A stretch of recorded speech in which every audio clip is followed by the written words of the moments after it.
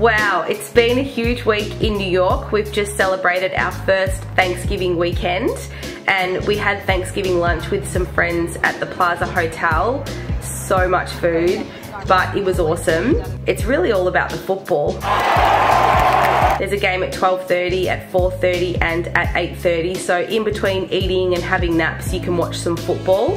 We did a bit of a sports bar pub crawl after our lunch um, and checked out a couple of my favourite places, the Blind Pig and the Grayson.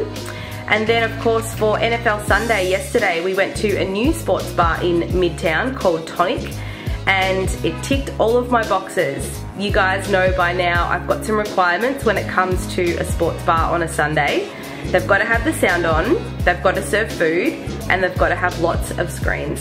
Tonic did that. They've got really cool, friendly staff, and it's a great place with good vibes to watch football on a Sunday.